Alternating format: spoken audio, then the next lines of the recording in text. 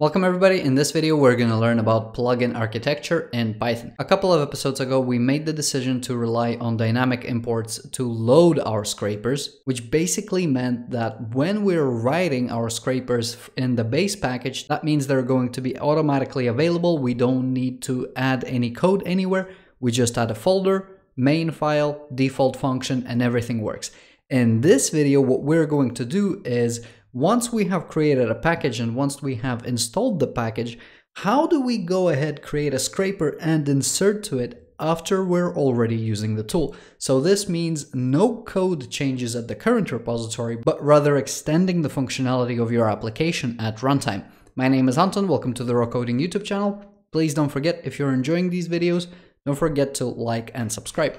Now let's take a look at this. So our current setup is we have the base scraping library, we have the scraping API, and we have the scraping CLI, a command line and a web interface. In the scraping project over here, we have our three scrapers, and we currently run it through the run module where we resolve the scraper dynamically using importlib. Let's do the simplest possible thing of inserting a spider into our application after it has already been built. First of all, let's create a virtual environment, so virtual env venv. Then we're going to activate this virtual environment, so bin activate. We'll make sure that we're going to pip install build. And then we're going to use Python module build. And we're going to first just start off with building the scraping CLI project. And I'm going to stop here. I want to make sure that I use the wheel flag. Once that has built, let's go ahead and install the wheel. And remember, we're doing this because we're trying to simulate building our package and then somebody using the package at production is going to extend it with their own spider. Now that we have installed it, if we take a look at the venv folder inside lib, we are going to see the scraping and scraping CLI folders. If we try to scrape blog and say we're scraping one blog, no problem. If we then scrape something like hello or test, Module test doesn't exist. In order for this to work, what we have to do is we have to create a new folder. For example, test. We will then add a new file, something like init py. So mark this as a module. And then we're going to add another file, main py. Here we're going to define a default function. This is going to have some kind of arguments, and then this is going to print hello world.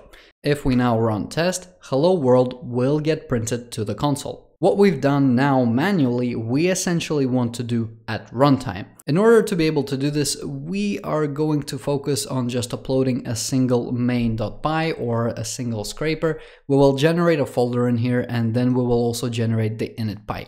We're going to delete test and we're going to start afresh. Let's collapse the venv, scraping CLI, scraping API, and inside scraping, we're going to create a new file and this is going to be an importer. The importer is going to be able to add a scraper. The scraper will have a name and it is going to have some kind of contents. So the contents are going to refer to the contents of the file. So if we are uploading it from a web API, it's going to be whatever is passed to the web API. If we're uploading from the command line, it is going to be a file path. So the command line will need to do a little conversion before it is passing the contents over here. We will need to create folders and all that stuff. So let's import a couple of packages. First of all, OS and then path lib. OS we're going to use to go to path and then real path. And here we're going to supply file. And this is going to give us, and we can actually see if we just comment out this function, put this over here and put this in the print. We're then going to change directory to scraping and then scraping again. Here we're going to be able to see the importer py. We're going to run python 3 importer py and this is the output. This is going to print the directory of the current file. So wherever the package is going to be used, we are going to get the following directory. So the importer is going to be sitting somewhere here. We now want to get rid of this slash importer to get the current directory. The way that you can do this is you can go to s, path, and then dir name, open parentheses. Again, if we rerun this, now we have the folder. The pathlib that we have imported here is to ensure that whatever directory that we're going to be creating is going to be created. So let's go ahead and uncomment add scraper. we're gonna grab the path that we're obtaining over here, and this is gonna be current dir, so current directory. We wanna be able to generate a spider directory, which is just going to be the current directory plus the path, the name of the spider. Inside pathlib, we're going to import path, and then we're going to pass spider directory into this. On path, we will call the function make dir, and for the parameter, we have to pass parents true and exist okay, true as well. This is going to ensure that the spider directory is going to exist. We can then further take path, path, spider dir. Please note that the name is not going to have the slash. We're going to use this to append one more slash in it and then another double underscore and py. This is going to help us create a file which is going to identify this directory as a Python package.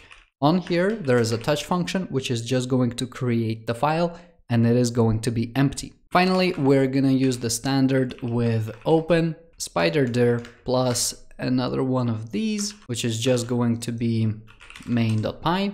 We're gonna give it a write flag as f, so just a reference to the file will be f. We're going to write whatever contents we have here.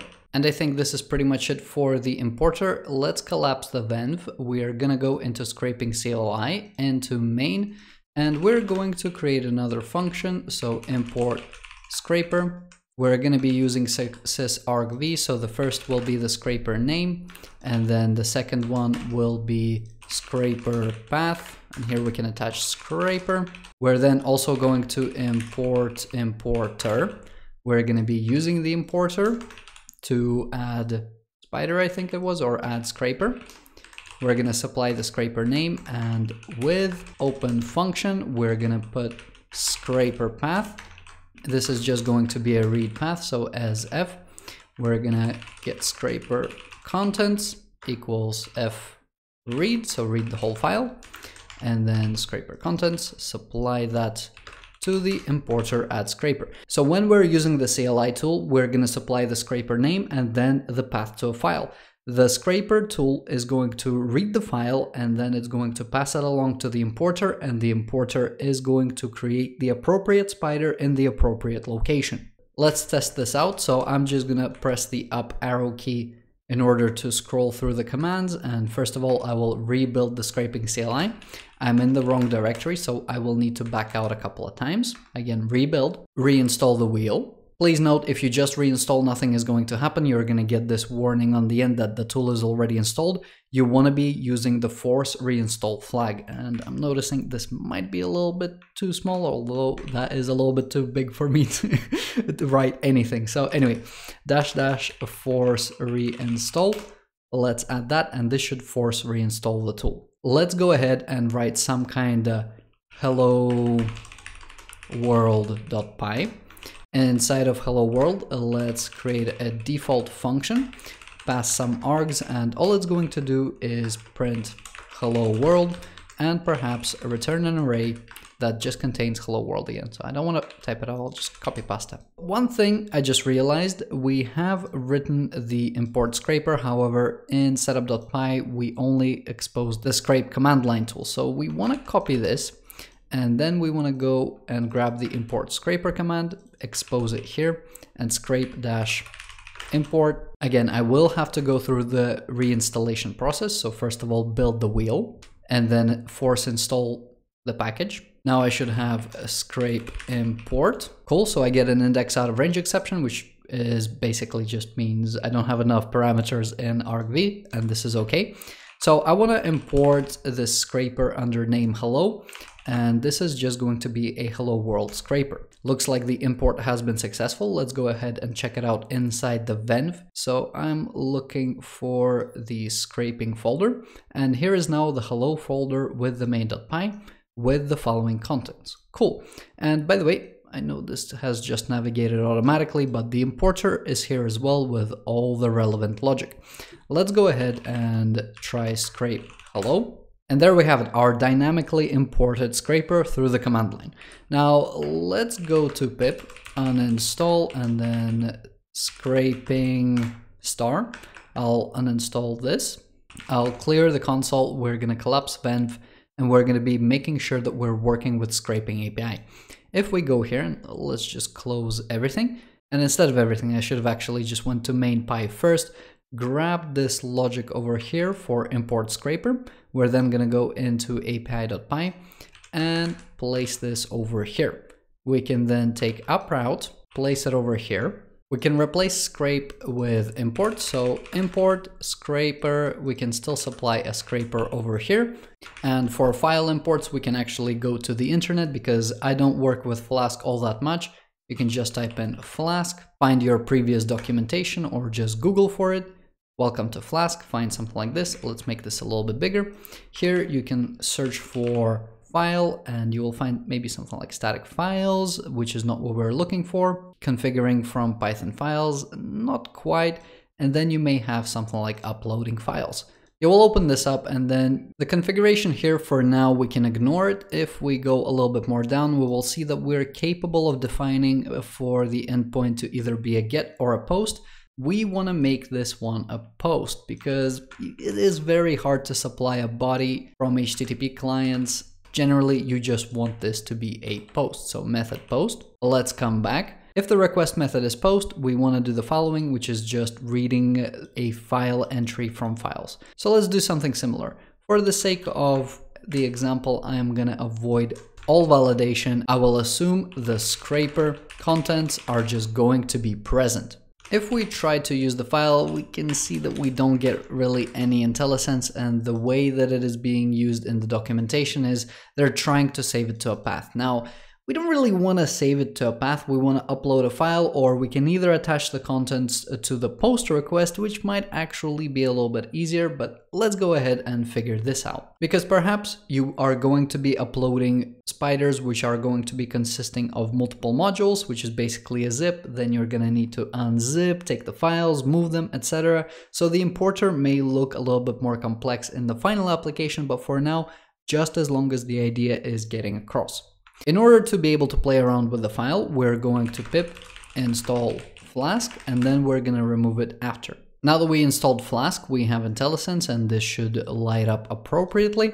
On the file, we can see what kind of methods do we have. We have things like close, file name, headers, save, so save to a file, which we don't want to do, or stream. So a stream is a stream of bytes, so whatever contents the file may have, stream tells me that is where it is. And on here we should be able to find something that looks like read. Let's go ahead and try to print this. Scraper name, we can cut it, put it as the parameter and then as the route parameter as well. Remove it from here. Scraper path, we don't need it because we're no longer reading it. We're going to comment out the importer and the scraper contents Maybe we will assign it from the stream in just a second. So from here, let's actually also add the importer. From the command line, we're going to do pip install dash e scraping API. So just really quickly scrape API so we can test the interaction. Here we can see that we cannot find scraping, so we have to do pip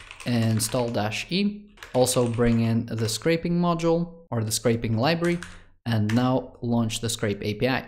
Here we're gonna have the API and I'm going to launch Insomnia. Here is Insomnia open, it looks slightly different. Let's create a request collection, my collection, sure. We're going to create an HTTP request, it is going to be a post. Let's make sure we copy the URL and then we are going to go to import scraper name. So I've copied the route, let's place it here, no double slashes. And make sure that this is slightly bigger and this is going to be my test scrape. Why not? In the body, we will say that we want a binary file and then we will select a file. From my scraping folder, I'm going to select hello world.py and then send this to the backend. We're gonna get a bad request. I'm going to assume it's the way the file has been attached, so we will reset the file, click to confirm. Instead of just sending a file, we will send multiform. Here we're going to specify the name. So what name are we looking for? Scraper contents. Let's place this here. From the drop down here, we will select that we want a file. Again, I will select hello world. Let's try to send this. And now we get an internal server error. And this error here is actually completely fine. It's basically saying that the function here didn't return a response. And we didn't say that it should. What we're really looking for is this print statement. And there it is. There is the contents of our Python file that we're trying to upload. Let's go ahead, take these contents, we'll place them on the scraper contents. Let's uncomment this, we will remove print and we're going to return something like imported and then scraper name. So scraper name looks good to me. Let's restart the scrape API, come back to Insomnia. We will send this again. We'll get another internal server error. And the error this time is, is that right argument must be string, not bytes. If we scroll up just slightly, we will see that the string that we're getting here is prefixed by B, which means the contents over here are in binary format. It's not a big problem. All it means is that we just have to decode it. So let's go ahead and say decode to UTF-8, a well understood standard. Again, restart the scrape API. Come back over here. We're going to send. Looks like we have imported my test.